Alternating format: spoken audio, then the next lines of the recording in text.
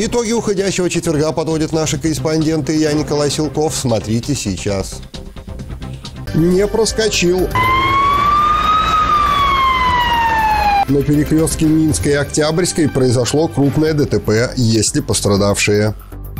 Опасные шашки. Транспортная инспекция совместно с ГАИ охотится на недобросовестных таксистов, какие фиксируют нарушения. Допуск водителя к управлению транспортным средством без предрейсового медицинского освидетельствования. Мы возили пациентов как сопровождающие, то есть на различные исследования. Трудовой семестр 2020 в Бобруйске наградили лучших командиров студотрядов «Кто в их числе» а также площадка здоровья, отсрочка с документами и циклон по имени Таня. На Беларусь движется непогода, чего от нее ждать.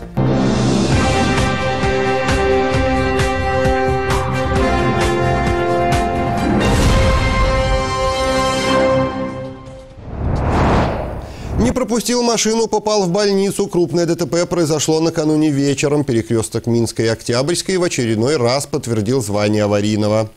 Одной из первых на место происшествия выехала наша съемочная группа. Бобруйск, 18.55, конец рабочего дня. На улице моросит дождь, на перекрестке Минской и Октябрьской час пик. ВАЗ-2109 едет со стороны Шмидта, навстречу ему Ауди. Горит зеленый сигнал светофора. Через мгновение лирика заканчивается. Не рассчитав ни время, ни дистанцию, водитель ВАЗа решает повернуть налево на Октябрьскую. Немец едет прямо в сторону Шмидта. Согласно ПДД, при повороте налево или развороте водитель обязан уступить дорогу встречным авто. Нарушение правила, как следствие, приводит к неисправимым последствиям. Девятка влетела в стену дома. Перед машиной смят, выбиты стекла. Колеса смотрят разные стороны, двери вошли в салон. Ближе не подойти, инспекторы оградили территорию. Ауди получила механические повреждения. Бампер остался лежать на проезжей части, от сильного удара сработали подушки безопасности. Перед кузова и двери похожи на консервную банку. Треснуло лобовое стекло. В результате дорожно-транспортного происшествия пассажиру и водителю автомобиля ВАЗ причинены телесные повреждения, с которыми они были госпитализированы. По факту ДТП проводится проверка. Госавтоинспекторы просят жителей, которым известны обстоятельства происшествия, позвонить по телефону 71 55 55. Максим Кемель, Дмитрий Шевцов, Бобруйск 360. Небезопасные поездки в стране участились аварии, где фигурируют такси. Специалисты вышли на мониторинг. Только за 10 дней транспортная инспекция выявила порядка 500 нарушений по всей стране. Каких? Подробности у Марии Бересневич.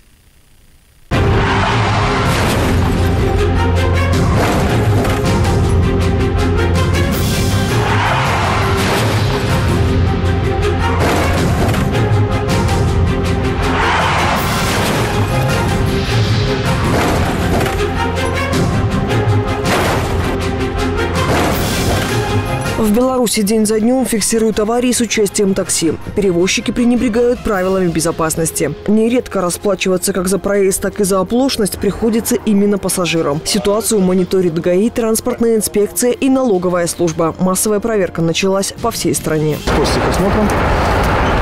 Ну, печально.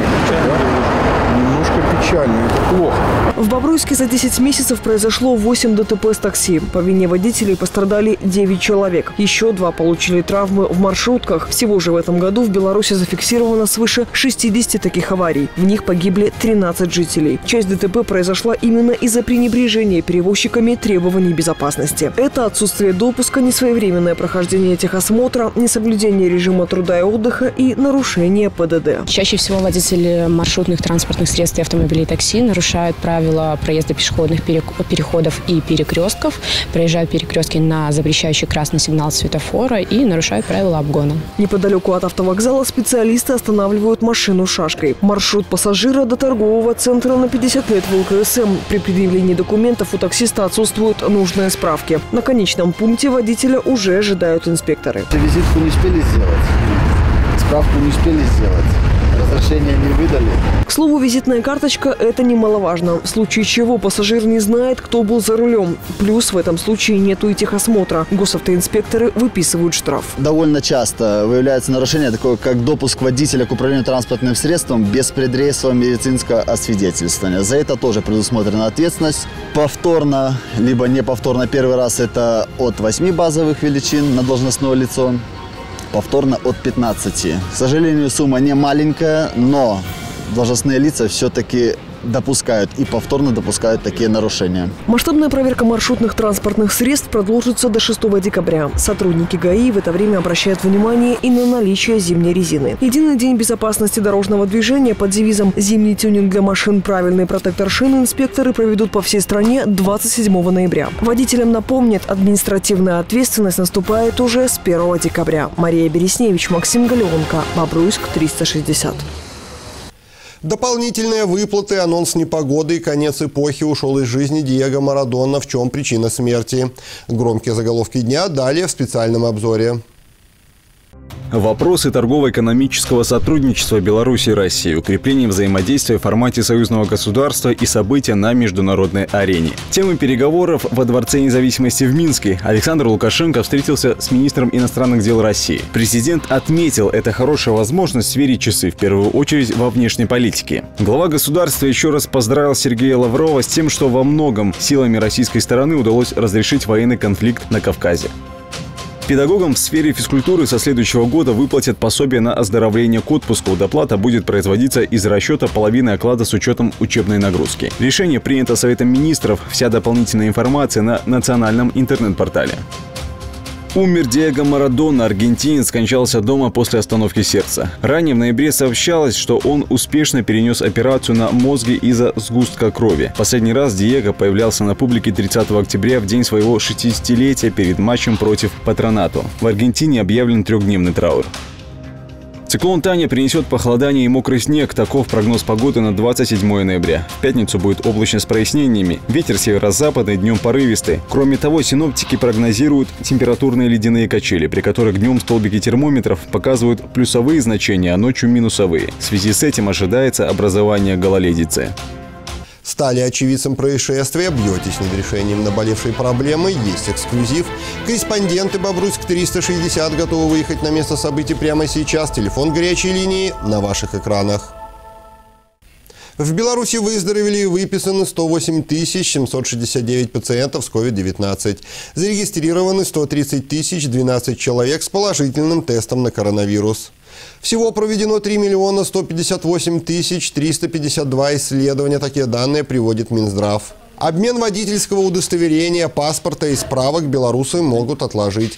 Это предусмотрено указом о продлении срока действия документов. Все для того, чтобы люди не ходили по инстанциям во время непростой эпидемиологической ситуации, не стояли в очередях, в отделениях ГАИ и в паспортных столах. Решение направлено на профилактику COVID-19. Документ уже опубликован на правовом портале. Белорусы могут потянуть, причем официально, с заменой документов, срок действия которых истек с 10 ноября этого года по 10 мая 2021 в эти дни проходил форум «Здоровые города России». На площадке Zoom выступали международные спикеры. Сегодня одним из них стал главный санитарный врач Бобруйска. Здесь Дмитрий Лайтер рассказал о политике сохранения здоровья населения в рамках государственного профилактического проекта. В программе форума также пленарные заседания, панельные дискуссии и круглые столы. По заслугам и награда в медицинском колледже прошло награждение лучших студотрядов. Грамота от Центрального комитета БРСМ и почетный знак «Лучший командир» награды Екатерины Максименко за трудовой семестр 2020. Девушка возглавляет студенческий медицинский отряд. Летом она работала в Бобруйской детской больнице и выполняла обязанности младшего персонала. Мы занимались уборкой а, генеральной и ежедневной. Также мы возили пациентов как сопровождающие, то есть на различные исследования. А, помогли, кстати, а, знания, которые мы получили в колледже. Наши ребята Отработали в учреждениях здравоохранения, предприятиях города, в сельхоз, э, на сельхозпредприятиях. В этом году трудились 37 студенческих отрядов, это 515 человек. Ежегодно ребята работают на самых важных социальных объектах страны, области и города. Тем самым вносит свой вклад в будущее Беларуси. Это все из событий к этой минуте. Смотрите нас в интернете, соцсетях. Мы в эфире каждый будний вечер. Счастливо.